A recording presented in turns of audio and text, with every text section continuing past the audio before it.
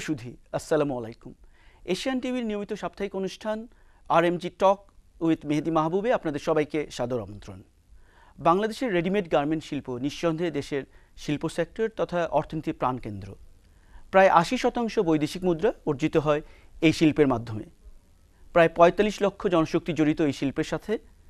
আমাদের এই অনুষ্ঠানে রেডিমেড গার্মেন্ট শিল্পের সমস্যা, সম্ভাবনা ও চ্যালেঞ্জ নিয়ে আমরা আলোচনা করব। আমাদের সঙ্গে আজকে রয়েছেন Bangladesh knitwear manufacturers and exporters association BKMEA এর ভারপ্রাপ্ত সভাপতি mister A H Aslam Sunny এবং দি ফিনান্সিয়াল এক্সপ্রেসের সম্পাদক mister Moazzem Hossain mister Moazzem Hossain mister Sunny welcome to our program অনুষ্ঠানের শুরুতেই আমরা একটি এই শিল্পের বর্তমান উপস্থাপন একটি প্রতিবেদন দেখে নিই। পোশাক রেখে দিলে ডেলিভারি হবে না সময় মতো, আর পাঠাতে গেলে পেট্রোল বোমায় পুড়ে যাওয়ার ভয়। এমন উভয় সংকটে দিন পার করছেন এখন পোশাক মালিকরা। প্রতি বছর পোশাক শিল্প থেকে দুই লাখ আট হাজার কোটি টাকার পোশাক রপ্তানি হলেও বছরের প্রথম দিকে এই অস্থির রাজনীতির ধাক্কায় কমার আশঙ্কা রয়েছে। বাংলাদেশের garments সেক্টরটাই eighty four percent total export contribute করে বলেই কিন্তু এই one point three seven percent আমরা টোটালি নেগেটিভ গ্রোথটা পাই। অর্ডার কিন্তু বাংলাদেশ থেকে সরে গেছে অনেক অর্ডার যেরকম গ্রোথ হয়ে যাওয়ার কথা ছিল, সেই গ্রোথটা কিন্তু আমরা পারি নাই। কারণ যে গ্রোথটা ওরা এখানে বেস করেছিল সেই গ্রোথটা অনেকাংশে চলে গেছে যেমন ইন্দোনেশিয়া পর্যন্ত অর্ডার চলে গেছে। সময় মতো ডেলিভারি না করলে air freight discount cancellation deferred পেমেন্টের এই শিল্প উদ্যোক্তারা প্রতিদিন আর্থিক ক্ষতির সম্মুখীন হচ্ছে।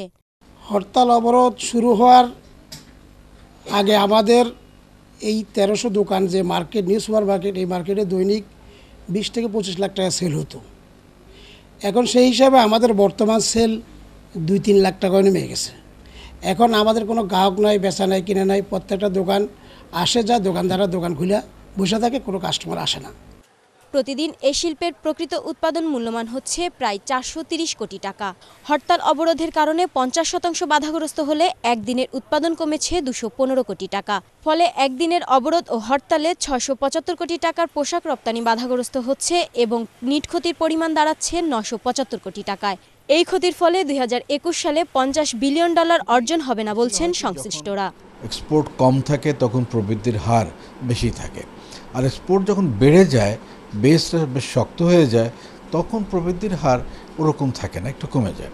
কিন্তু প্রবৃদ্ধির হার কমে গেলেও প্রবৃদ্ধি হতেই থাকে। তা আমরা আশা করছি যে এমন কোনো কিছু ঘটেনি যে কারণে আমাদের প্রবৃদ্ধি কোনোভাবে বড় রকমের বাধার সম্মুখীন পড়বেন, এটা এটা মনে হচ্ছে না। আর সাময়িক যে স্থবিরতা কিছুটা আমাদের ব্যবসা বাণিজ্যে রয়েছে, এটার কারণ যতটা না অর্থনৈতিক, তার চাইতে বেশি রাজনৈতিক, সামাজিক। গত কয়েক বছর অগ্নিকাণ্ড কিংবা হরতাল অবরোধের মতো মানব সৃষ্টি দুর্যোগ এর ফলেই বেশি ক্ষতিগ্রস্ত হয়েছে এই খাতটি। Nila Hasnat, Asian television, Dhaka. বিশেষ সানি, আমরা প্রতিবেদন যেরকম দেখছিলাম যে গার্মেন্ট শিল্পের এখন এক ভয়াবহ অবস্থার সম্মুখীন। গার্মেন্ট শিল্পের একজন লিডার হিসাবে বিকেএমই এর ভারপ্রাপ্ত সভাপতি হিসাবে আমরা আপনার কাছ থেকে আর একটু বিস্তারিত জানতে চাই। ধন্যবাদ মেহেদি ভাই আজকে এখানে আসার জন্য। আজকে একটা এমন একটা পর্যায়ে আমরা এখানে আলোচনা করছি, যখন সারা বাংলাদেশের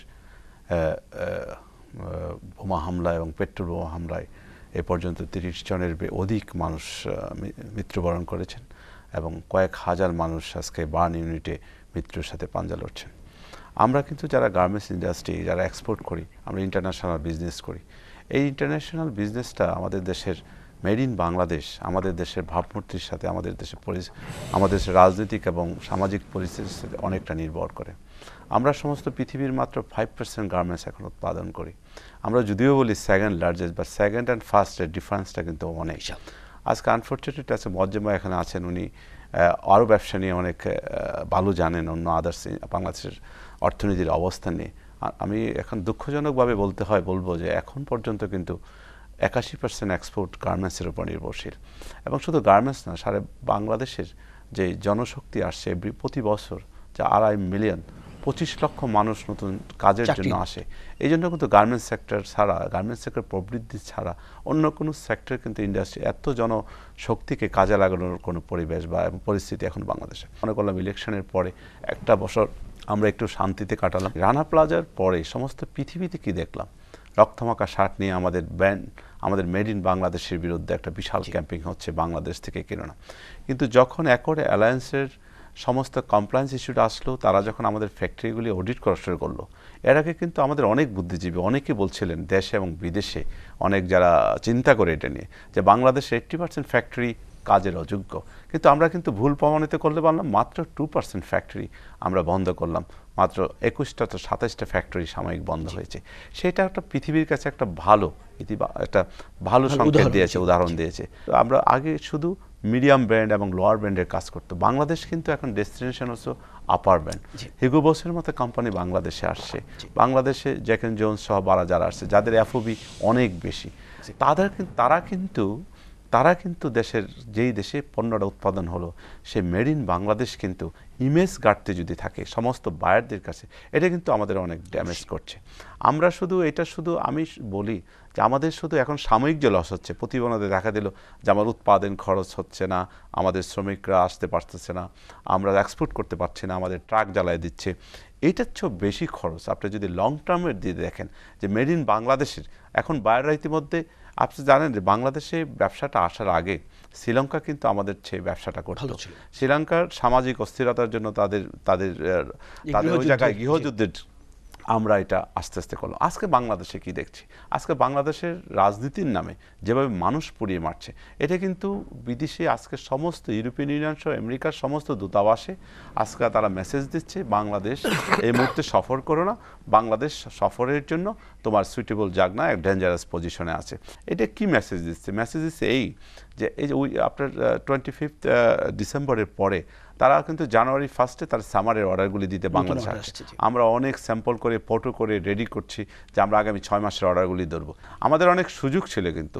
সুযোগটা দুই ধরনের সুযোগ। এক হলো চায়না যে গার্মেন্টস সেক্ট থেকে চলে যাচ্ছে চায়না দা ইন্টারেস্ট না তারা গার্মেন্টস উৎপাদন করতে। এই যে গ্যাপটা তৈরি হচ্ছে এইটার চায়না প্লাস ওয়ানের যে সুযোগটা কিন্তু আমরা পুরোপুরি নিতে আমরা এটা নিয়ে। আরেকটু বিস্তারিত আলোচনা করব। আমরা এই এই ক্ষেত্রে মিস্টার মজ্জেম হোসেন আপনি অর্থনীতি রাজ জার্নালিজম একজন প্রতিকৃত। আপনার কাছ থেকে আমরা জানতে চাই যে অর্থনীতিতে এবং ইমেজ যেটা মিস্টার সানি খুব সুন্দর করে বলছিলেন পুরো ইম্প্যাক্টটা কি হবে? আপনি কীভাবে দেখছেন? ধন্যবাদ ম্যাডাম মাহবুব। আমি আপনাকে আরও বিশেষভাবে ধন্যবাদ দিচ্ছি আপনার কমিটমেন্টের জন্য গার্মেন্টস ইন্ডাস্ট্রির প্রতি কারণ আপনার এই ধরনের অনুষ্ঠানে বোধহয় আমি দ্বিতীয়বার আসলাম আসলাম এবং আপনার যে কমিটমেন্ট সিনসিয়ারিটি নিয়ে আপনি ইন্ডাস্ট্রির ফোকাস করেন আই কংগ্রেচুলেট ইউ এবং এটা আমরা করতে থাকবেন আশা করব। আমার মনে হয় বিকেএম এর তরফ থেকে যথেষ্ট বলা হয়েছে আমরা যে প্রতিবেদন দেখেছি প্রতিবেদনও আমরা চিত্র দেখেছি আমরা এফেক্ট নিয়ে আলোচনা করছি না আপনি আমার মনে হয় আমাকে সেক্টর স্পেসিফিক থাকা বাদ ইয়ে নাই তাই বিয়ন্ড দ্য সেক্টর যদি দেখি আমরা তো এখন এফেক্ট নিয়ে আলোচনা করছি। সার্বিক অর্থনীতিতে এটা যে প্রতিকূল প্রভাব পড়বে এটা বোঝার জন্য আমাদের কোনো পাণ্ডিত্যের দরকার নেই এবং কোনো পণ্ডিতের দরকার নেই। যে পোশাক শিল্প আমি এরপরে এটার সাথে সম্পর্কিত কিন্তু বাংলাদেশের ব্যাংকিং খাত অ্যাকচুয়ালি ব্যাংকিং খাত ওনাদের তাদের যদি আপনার অ্যাসেট পোর্টফোলিও দেখেন আর এম জি খাতে ব্যাংকগুলির এক্সপোজার কত আর্থিক খাতে ইন্স্যুরেন্স খাতেটার সাথে আছে। এর সাথে জড়িত আছে আমাদের কনস্ট্রাকশন সেক্টর যদিও প্রাইভেট কনস্ট্রাকশন হচ্ছে কিন্তু বড় যেটা শিল্পটা অলরেডি একটা প্রবলেমে ছিল সেই প্রবলেমটা আরও ঘনীভূত হচ্ছে। আমি কোন সেক্টরের কথা বলব? পর্যটনের কথা বলেন সেটা আরেক সেক্টর সার্ভিস সেক্টর বলেন রিটেল ট্রেড আমরা একটা চিত্র দেখেছি যিনি বললেন যে ওনার ব্যবসা আগে কী ছিল? রিটেল ট্রেড হোলসেল ট্রেড এগুলো সবগুলি তো একটা চেইন এফেক্ট আছে। এবং অর্থনৈতিকভাবে এটা একটা প্রতিকূল প্রভাব পড়বে। এটা এটা নির্দ্বিধ এটা তো বলার মানে আমি যেটা বলেছি you don't require a pundit to tell us because you experience it day to day in your life actually আমি একটা ইস্যু বলব গার্মেন্ট শিল্প অনেকগুলি চ্যালেঞ্জ কিন্তু মোকাবেলা করছে we must give them the due credit actually চ্যালেঞ্জগুলো ওনারা আমি গার্মেন্টস বলতে ওভেন নিটেড দোনোটাই মিন করছি। আমরা এই বিষয় নিয়ে আরও তারপর আলোচনা করব। মিস্টার সানির কাছ থেকে আমরা জানতে চাইব এবং আপনার কাছ থেকে। তার আগে আমরা যেহেতু আমরা আলোচনা করছিলাম যে এই ক্ষতি রাজনৈতিক পরিস্থিতির কারণে আমরা বেশ কয়েকজন ব্যবসা সংশ্লিষ্ট ব্যক্তিত্বের আমরা সাক্ষাৎকার নিয়েছি। তাদের কিছু একটা প্রতিবেদন দেখে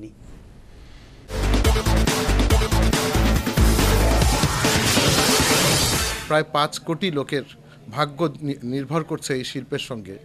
এখানে অনুধাবন করার একটা বিষয় আছে এবং একটা জিনিস বুঝতে হবে যে যে কোনো কিছুর রাজনীতি এবং এই অর্থনীতি দুইটার মধ্যে একটা ব্যালেন্স করতে হবে। কারণ গণতান্ত্রিক প্রক্রিয়ায় এই ধরনের প্রতিবাদ হতে পারে, কিন্তু প্রতিবাদটা এমন হওয়া উচিত না যেটাতে আমাদের টোটাল অর্থনীতির মূল চাবিকাঠি এই এটা যেন ধসের মুখে না পড়ে। পোশাক শিল্প বাংলাদেশের second largest exporter in the world এই শিল্পের মাধ্যমে পাঁচ কোটি লোক পরোক্ষভাবে নির্ভরশীল, প্রায় চুয়াল্লিশ লক্ষ শ্রমিক এই শিল্পে কাজ করছে। বিগত কয়েকদিনের অবরোধ হরতালে প্রায় উনআশি লক্ষ ডলারের অর্ডার ক্যান্সেল হয়েছে এবং অনেকগুলো নিরীহ লোক আপনার প্রাণ দিচ্ছে। চট্টগ্রাম এককভাবে যদি বলি এই গার্মেন্টস সেক্টরে about twenty five to twenty seven percent total গার্মেন্টসে কন্ট্রিবিউট করে এক্সপোর্টে এবং যদি ওয়ার্কার যদি বলি ওয়ার্কার সেখানে about thirteen to fifteen lakhs worker কাজ করে। আমরা ফ্যাব্রিক্স রেডি করতে পারতেছি না। অন্য জায়গা থেকে কাপড় আমাদেরকে ডেলিভারি করতে পারতেছে না নিটিং হচ্ছে না প্রিন্টিং থেকে মাল আসতে পারতেছে না। এই পরিস্থিতিতে আবার আমরা মালটা গার্মেন্টসটা যখন বানাচ্ছি, তখন একটা অনিশ্চয়তার মধ্যে দিয়ে আমাদের মালটা চিরং পোর্টে পৌঁছাচ্ছে। ট্রান্সপোর্টাররা যেতে চাচ্ছে না, তাদের গাড়ি রিক্স আমাদের মালের রিক্স সমস্ত কিছু মিলে আমরা যে কি একটা বাজে পরিস্থিতির মধ্যে আমাদের এই সেক্টরে এখন বর্তমান আছে, সেটা আসলে আমাদের জায়গাতে না আসলে কেউ বুঝবে না যে আমাদের এই অবস্থাটা কোথায়। এই অবস্থায় আমাদের দেশে কিন্তু বায়ারগুলো আসছে না। এখন সমস্ত বায়াররা আমাদেরকে বিভিন্ন দেশে ডাকে। যে একটা বায়ার যদি আমাকে তিন লাখ পিস দেওয়ার কথা ছিল, সে আমাকে এক দেড় লাখ পিস ধরিয়ে দিয়ে বলে তোমার দেশকে দেশের অবস্থা পর্যবেক্ষণ করছি। অবস্থা যদি পরিবর্তন হয়, তাহলে আবার অর্ডারগুলো দিব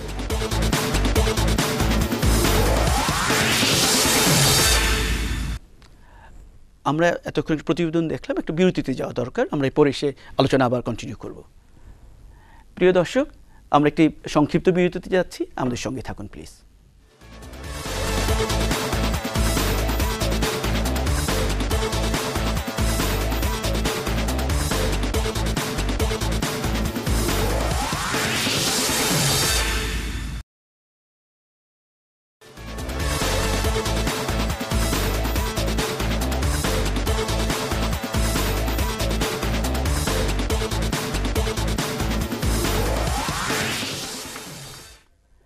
বিরতির পর সবাইকে আবার সাধারণ আমন্ত্রণ আমাদের অনুষ্ঠানে। আমরা কথা বলছিলাম মিস্টার আসলাম সানি এবং মিস্টার মজাম হোসেনের সাথে।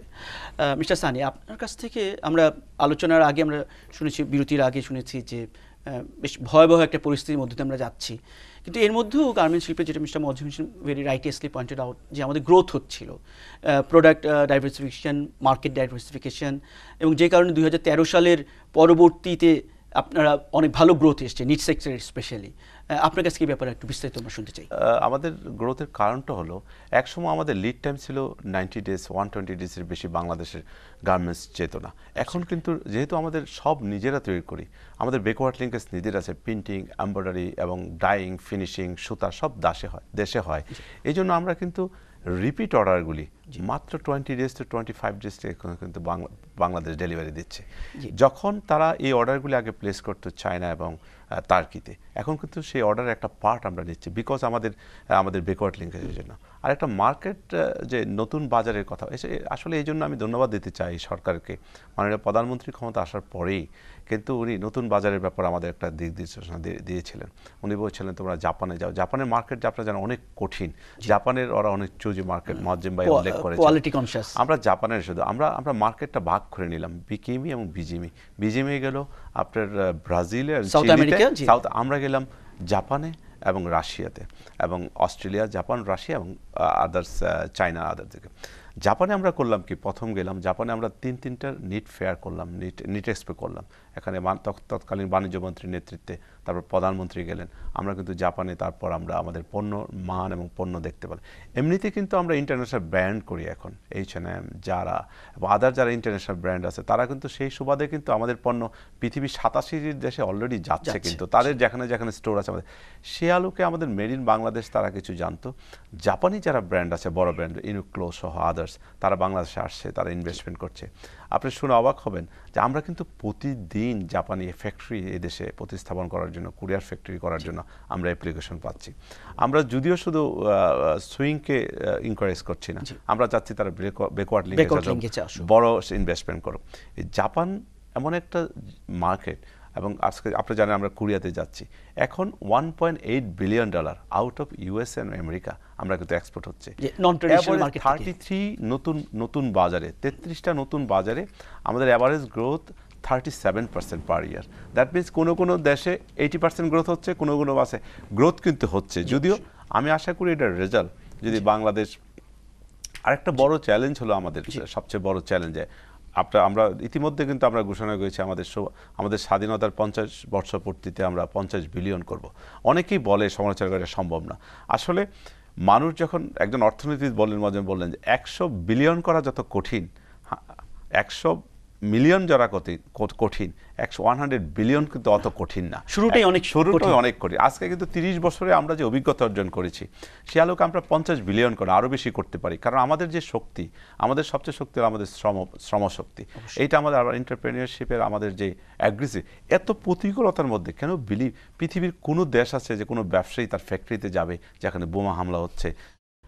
বর্তমানে রাজনৈতিক পরিস্থিতি এবং সহিংসতা এবং পুরো সেক্টর জুড়ে যে সমস্যা চলছে বন্দনগরী চট্টগ্রাম এর চেয়ে ব্যতিক্রম নয়। চট্টগ্রামে রয়েছে প্রচুর গার্মেন্টস ফ্যাক্টরি আমরা এখন দেখে নেব যে চট্টগ্রাম ভিত্তিক গার্মেন্ট শিল্পের বর্তমান হাল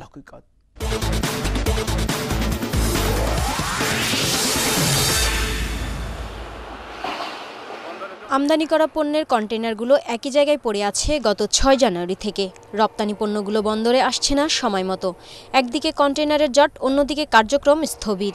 দেশের আমদানি রপ্তানিতে এই চট্টগ্রাম অঞ্চলের বেশ অবদান থাকলেও হরতাল অবরোধে তা এখন অনেকটাই প্রাণহীন। চট্টগ্রাম বন্দরের তথ্য মতে, দুই হাজার তেরো সালে বন্দরে আমদানি ও রপ্তানি পণ্যবাহী কন্টেইনার ওঠানো নামানো হয়েছে বারো লাখ এক হাজার চারশো পনেরো টিইউএস এর মধ্যে বন্দর দিয়ে প্রায় পঞ্চাশ শতাংশ বেশি পণ্য পরিবাহিত হয়েছে বেসরকারি ডিপোগুলো দিয়ে। চট্টগ্রামে উনিশশো পঁচানব্বই সাল থেকে শুরু হওয়া বেসরকারি ডিপোগুলোতে কন্টেইনার ওঠানো নামানো প্রতিষ্ঠান বর্তমানে ষোলোটি। কাজ না থাকায় কর্মচারীদের বেতন ভাতা নিয়ে সমস্যায় পড়েছেন বন্দরের ব্যবসায়ীরা। প্রতিনিয়ত ডকুমেন্ট আসছে না অবরোধের কারণে। এবং যেগুলি আসে এগুলি আমরা করে রেডি বাট পণ্য চলাচল করার জন্য যেই যানবাহনের অভাব যানবাহনের কারণে আমরা পণ্য খালাস করতে পারছি না। অর্ডারের পণ্যগুলো রেডি থাকা সত্ত্বেও হরতাল অবরোধের কারণে তা বিদেশি ক্রেতাদের কাছে পাঠানোর ব্যবস্থা নিতে পারছেন না চট্টগ্রামের তৈরি পোশাক মালিকরা। এই রাজনৈতিক পরিস্থিতি যদি শান্ত না হয় বা এর কোনো ফয়সালা না হয় তাহলে আমার মনে হয় আমাদের অনেক গার্মেন্টস সেক্টর অনেক গার্মেন্টস বসে যাবে বা বন্ধ করে দিতে হবে। আমদানি রপ্তানি গতি বাড়াতে ও কন্টেইনার জট কমাতে শিগগিরই এই অচল অবস্থার নিরসন চান ব্যবসায়ীরা।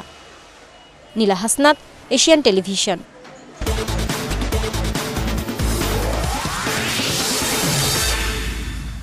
আমি এখানে এক জিনিস একটা উল্লেখ করতে চাই যে আমাদের আজকে যে সময় আমরা যে আজকে ইউরোপে এক্সপোর্ট করছি ইউরোপে এক্সপোর্ট করতে তেত্রিশ দিন তিরিশ দিন লাগছে আমেরিকাতে করছে ফোর্টি ফাইভ ডেজ যেখানে আমরা শুধু একটা অর্ডারের তিনটা পার্ট থাকে একটা সিজনের ফার্স্ট পার্টটা বাংলাদেশ পায় সেকেন্ড পার্টটা টাইমিংয়ের জন্য পায় না যেহেতু সেকেন্ড পার্টটা চায়না বা থার্ড পার্টটা তার্কি বা ইউরোপের ক্ষেত্রে তার্কিতে পায়। আর আমেরিকার ক্ষেত্রে চিলি বা আদার্স নেয়ার আমেরিকান নর্থ আমেরিকার কান্ট্রিগুলি পায়। আমরা যদি আজকে যেই সরকার যে ব্যবস্থা নিয়েছে যে আজকে দেখলাম যে সরকারের প্রায়োরিটি বেসিস যে কর্মসূচি আছে এর ভিতরে এর ভিতরে তারা নিয়েছে যে গভীর সমুদ্র বন্দর। আজকে গভীর সমুদ্র বন্দর যদি আমি আমি একটা জিনিস এখানে উল্লেখ করতে চাই। গভীর সমুদ্র- বন্দর যদি বাংলাদেশে হয় বাংলাদেশ আমরা পনেরো দিন পনেরো দিনে ইউরোপে আমাদের পণ্য সরবরাহ করতে পারব। আমেরিকাতে আমরা পঁচিশ দিনে করতে পারব।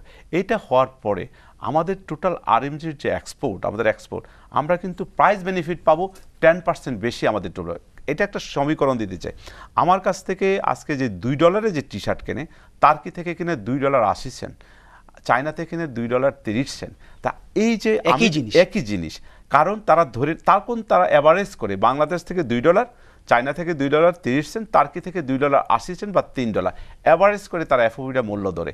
আমি যখন পনেরো দিন আগে যাব আমাদের ডেলিভারি লাইন তখন কিন্তু চায়নার অর্ডারটা তার্কির অর্ডারের এইটি পার্সেন্ট পার্ট আমরা পেয়ে যাব। তখন আর এফওবি আমি কিন্তু টেন পার্সেন্ট ইজিলি আমার বৃদ্ধি পাবে। আমি যদি এখানে একটা হিসাব করা উচিত যে গভীর সমুদ্র বন্দর করলে আমি কি বেনিফিট পাবো? আমি কিন্তু এফওবিতে গ্লোবাল এফওবিতে কিন্তু আমি একটা ভালো পজিশনে যাব। Very good point mister Mahajim Hossain আপনি অনেক বছর ধরে এই গার্মেন্ট শিল্প তথা অর্থনীতির বিভিন্ন বিষয় নিয়ে আপনি দেখছেন। মিস্টার সানি খুব সুন্দর একটি বিষয় নিয়ে আসলেন যে গভীর সমুদ্র বন্দর অথবা যে অন্যান্য সাপোর্টগুলো দিলে কীভাবে এটা বৃদ্ধি হয়? আপনার মতামত কি? আমি কিন্তু বাংলাদেশের উদ্যোক্তাদেরকে আমি অসম্ভব পরামর্শ করব। তারা কিন্তু শত প্রতিকূলতা সত্ত্বেও তারা কিন্তু তাদের এন্টারপ্রাইজিং কোয়ালিটি এই শুধু গার্মেন্টস ক্ষেত্রে না বিভিন্ন ক্ষেত্রে দেখেছেন। Bangladesh stands today largely because of the entrepreneurial capacity and entrepreneurial resilience of its entrepreneurs. Because I believe they have they deserve it actually. কিন্তু আমি দেখেছি ওনারা দুই হাজার তেরো সালের শেষার্থ কিন্তু বাংলাদেশের রাজনৈতিক পরিস্থিতি ভয়াবহ ছিল এবং বর্তমানের চেয়ে এটা হয়তো আরও বেশি ছিল। তা সত্ত্বেও ওনারা কিন্তু প্রবৃত্তি অর্জন করেছেন গার্মেন্টের সাথে এমন একটা টাইমে যে টাইমে রানা প্লাজার পরবর্তী সিচুয়েশন ছিল। এবং ওনাদের এখন বর্তমান চ্যালেঞ্জ হচ্ছে ওনারা এখন খ্রিসমাসটা চলে গেছে, এখন আর্লি অটম অর্ডারটা নেবেন। আমার যতটুকু রিডিং আমি শিল্প সম্পর্কে পাই। ওনাদের অর্ডারটা একটু স্লত অপেক্ষা করছে তারা হয়তো বারারা বাংলাদেশ তো অ্যালোন মার্কেটে অপারেট করে না বা অন্যান্য কান্ট্রি আছে। আর competitor আর- আছে, আরও জি। চ্যালেঞ্জ আমি আপনাকে বলি ইন্ডিয়া কিন্তু এখন ইউরোপিয়ান ইউনিয়নের সাথে একটা এফটি হয়েছে। সুতরাং ইন্ডিয়ান অ্যাক্সেস পাকিস্তান গেছে। পাকিস্তান এবং আরেকটা কথা বলছি ট্রান্সপ্যাসিফিক ট্রেড প্যাক যেটা বাংলাদেশ। সরাসরি হবে। সুতরাং ওনাদের থেটসও আছে মানে চ্যালেঞ্জেস থেটসটা চ্যালেঞ্জও আছে। আরেকটা কথা বলে আমি এই পর্যায়ে শেষ করব। আমরা শুধু বিদেশি বিনিয়োগের কথা বলছি না দেশির উদ্যোক্তাদের বিনিয়োগটাও কিন্তু প্রতিকূলভাবে প্রভাবিত হবে। এবং বিনিয়োগ ছাড়া কেউর কাছে এমন কোনো চাবিকাঠি নাই যে বাংলাদেশের প্রবৃত্তির হার বাড়াতে পারবেন। কাঙ্ক্ষিত জায়গায় আট পার্সেন্টের উপরে যেখানে গেলে আমরা মিডল ইনকাম মধ্যম আয়ের দেশে হতে পারব। সুতরাং বিনিয়োগ বাড়াতে হলে এই বর্তমান পরিস্থিতিতে এটা চিন্তাই করা যায় না। যেখানে কারেন্ট প্রোডাকশন মেনটেন করা current level of economic performance maintain করা একটা চ্যালেঞ্জ সানি আহ, আপনি কি বলছেন এই আসলে আমাদের আমরা আসলে এখন সার্ভাইভ সার্ভাইভ করার জন্য হয়তো বা চেষ্টা করব এই অবস্থা কিন্তু এই অবস্থা যদি চলতে থাকে মজ্জেম ভাই ঠিকই বলেছেন বিনিয়োগ আমরা আমাদের ক্যাপাসিটির আমরা সর্বোচ্চ তো আমরা দিচ্ছি। আপনারা জানেন ইতিমধ্যে আমরা গ্যাস সংযোগ পাচ্ছি না। আমাদের বিদ্যুতের কিছু উন্নত হয়েছে বা গ্যাস ছাড়া তো আমাদের ব্যাকওয়ার্ড লিঙ্কেজ হচ্ছে না। সর্বোচ্চটি আমাদের জাগা- জাগার অনেক সংকট। আপনারা জানেন ইতিমধ্যে ভিয়েতনাম কিন্তু গত বছর পনেরো পার্সেন্ট তাদের বিবৃতি হচ্ছে। আপনারা জানেন অনেক কোরিয়ান ইনভেস্টমেন্ট তাদের ভিয়েতনামে ভিয়েতনামে গিয়েছে এবং ইন্ডিয়াতে যে বলছেন তারা ইতিমধ্যে তারা ঘোষণা দিয়েছেন ইন্ডিয়ান বর্তমান নতুন সরকার আসার পরে যে এক্সপোর্টকে তারা মানে একটা প্রায়োরিটি। দিয়েছেন এবং অনেক ইনসেন্টিভ ঘোষণা করেছে। অনেক প্রতিবন্ধকতা আছে কিন্তু প্রতিবন্ধকতা সবচেয়ে প্রতিবন্ধক হলো কার সাথে কম্পিটিশন করছি? যে সরকারি ইনফ্রাস্ট্রাকচারগুলি ভিয়েতনাম ইন্ডিয়া এবং আদার্স আমাদের আমাদের কম্পিটিটিভ কান্ট্রিগুলি তাদের ইনফ্রাস্ট্রাকচার আমাদের ইনফ্রাস্ট্রাকচার তুলনা করেন তাদের যে interest rate bank interest rate আমার ব্যাংক ইন্টারেস্ট যদি তুলনা করেন তা আমরা অনেক পিছিয়ে আছি। উনি যেটা মিন করছেন আমি এটা অবভিয়াসলি রিটেট করা যাচ্ছি উনি যে লেভেলের যে টার্ফে অপারেট করেন ওনার কম্পিটিটার যে টার্ফ এই টার্ফটা লেভেল লেভেল প্লেইং আমরা অনেক সীমাবদ্ধতার মধ্যে পড়ি। তারপরে দেখেন কমিউনিকেশন তো আছে। আজকে আরেকটা জিনিস মেড ইন বাংলাদেশ এটা কিন্তু আমি যখন একটা ট্যাগে আমি একটা ট্যাগে দুই ডলারের ট্যাগে কিন্তু ওকে দুই ডলার খুব cheap price made in Bangladesh আমি যখন একশো ইউরোর ট্যাগে মেড ইন বাংলাদেশ লাগাবো তখন কিন্তু কেউ কিনতে চাবে না মেড ইন বাংলাদেশ আমার টার্গেট গ্রুপ ওদিকে যাওয়া উচিত। তখন এই হায়ার এন্ডের বায়ারগুলি বাংলাদেশে আসবে না। তারা মনে করবে বাংলাদেশ আপনার একটা মানে তারা অনেক নেগেটিভ আজকে মেড ইন জার্মানিয়ান জাপান কিন্তু কেউ কিন্তু কুণ্ঠাবোধ করে না। তারা কিন্তু বিলিয়ন ডলার দিয়ে একটা জিনিস কিনবে কেউ প্রশ্ন করে না। তাই কান্ট্রি ইমেজের জন্য রাজনৈতিক স্থিতিশীলতা আমাদের মেইনটা আজকে যদি এই দেশের যদি আমাদের এন্টারপ্রিনিয়রশিপ যেভাবে গড়ে উঠছে যে যোগ্যতা আমাদের আছে যদি আপনি সরকার শুধু সরকার এবং বিরোধী দল যারা রাজনীতি করে তারা যদি তারা তো রাজনীতি করে দেশের মানুষের জন্য। তাই মানুষের জন্য সিগন্যাল রাখি। আমি যদি আজকে ধ্বংস করে দিই কালকে আপনি গড়বেন কীভাবে? আজকে যদি আমাকে ডিমোরালাইজ করা হয় আমি যদি ইনভেস্টমেন্ট না করি যেটা ইনভেস্টমেন্ট যে আমাদের আজকে যদি আমরা পঞ্চাশ বিলিয়ন না দেশকে যদি এইট পার্সেন্ট আগাতে হয় তা আমাদের শিল্প ডেভেলপমেন্ট সেভাবেই করতে হবে, আপনার আমাদের আমাদের ইন্টারেস্ট রেট কমাতে হবে আমাদের প্ল্যান করতে হবে আমাদের নেক্সট ফেজ কি কীভাবে আমরা ইন্ডাস্ট্রি করব? আমি জানি আমি ইতিমধ্যে জানেন এত প্রতিকূলতার মধ্যেও বাংলাদেশ আমি জানি আমাদের মতো আমাদের বিকিমি বিজিমিতে অন্তত পঞ্চাশটা বড় ইন্ডাস্ট্রি তৈরি হতে যাচ্ছিল যেগুলি লিড সার্টিফিকেশন এবং আপনার বর্তমান খুব ভালো ব্র্যান্ডেড কাজ করে ভালো খুব উন্নত মানের ফ্যাক্টরি বাংলাদেশে অলরেডি হয়েছে আজকে কিন্তু তারা বাধাগত হচ্ছে। আজকে আমি কি চেষ্টা করব? আমি তো আর এক্সপানশনে যাব না। আমি তো এখন সার্ভাইভালের জন্য চেষ্টা করব। আমি. সার্ভাইভাল করতে পারলে তারপর এক্সচেঞ্জ করব। আরেকটা জিনিস প্রশ্ন আছে দর্শকদের বলতে আমাদের সাথে যখন কথা বলে মানুষ আমাদের ব্যবসায়ীদের সাথে বা এদেশের সাধারণ যারা যারা উৎপাদনের সাথে জড়িত তাদের সাথে যখন বিদেশি বাইরেরা কথা বলে তখন অনেকে আমাদের সাথে প্রশ্ন করে আসলে তো তোমরা অনেক ভালো তোমরা অনেক কমিটেড তাই তোমাদের রাজনীতিবিদের সাথে রিফ্লেকশনটা এত নেগেটিভ কেন? তোমাদের সাথে তোমরা হ্যাঁ। যে আমরা আলোচনার শেষ পর্যায়ে একদম আমরা আশা করব যে কারণ দেশটা সবার রাজনীতি এই দেশের জন্য হওয়া উচিত এবং অর্থনীতি ছাড়া রাজনীতি বা দেশ চলতে পারে না। দেশের অর্থনীতি প্রাণকেন্দ্র যেহেতু রেডিমেড গার্মেন্টস আমরা আশা করব যে সংশ্লিষ্ট এই এই রাজনীতি, অর্থনীতি সংশ্লিষ্ট সবাই এই বিষয়ে বিবেকবান হয়ে চিন্তা করবেন এবং দেশের যে শিল্পকে আপনারা এই পর্যায়ে নিয়ে এসেছেন এটাকে আরও গ্রোথের জন্য যা যা করণীয় যারা আপনারা দুইজন, বিদগ্ধ দুজন আলোচনায় আমরা নিয়ে আসলেন, এই কথাগুলো আমরা খেয়াল করব এবং ফলো করার চেষ্টা করব। আমাদের এই প্রাণবন্ত আলোচনায় অংশ করার জন্য মিস্টার মোয়াজ্জেম হোসেন এবং মিস্টার আসলাম সালি আপনাদের দুজনকে অসংখ্য ধন্যবাদ। প্রিয় দর্শক, আমরা অনুষ্ঠান শেষ করছি। অনুষ্ঠান শেষ করব একটি প্রতিবেদনের মাধ্যমে। চলুন আমরা প্রতিবেদনটা দেখতে দেখতেই অনুষ্ঠান শেষ করি।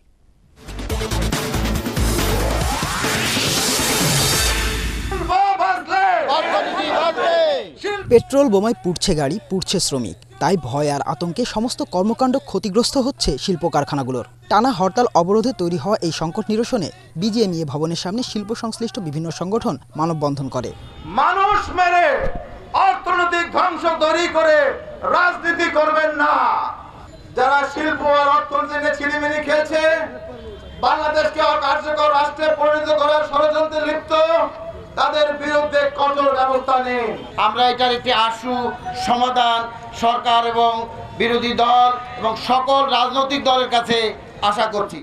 এ সময় ব্যবসায়ীরা জানান চলমান রাজনৈতিক সংকটে এরই মধ্যে পোশাক শিল্পে তিরিশ শতাংশ অর্ডার কমে এসেছে। প্রতিদিন প্রায় নয়শো পঁচানব্বই কোটি টাকার পোশাক রপ্তানি বাধাগ্রস্ত হচ্ছে বলে অভিযোগ করেন তারা। দেশের প্রায় চুয়াল্লিশ লাখ শ্রমিক পোশাক শিল্প থেকে তাদের জীবিকা নির্বাহ করেন। চলমান সংকটে শিল্প প্রতিষ্ঠানের পাশাপাশি দেশের অর্থনীতিও হুমকির মুখে পড়বে বলে আশঙ্কা করছেন সংশ্লিষ্টরা। Majharul Amin Shuvo Asian television Dhaka.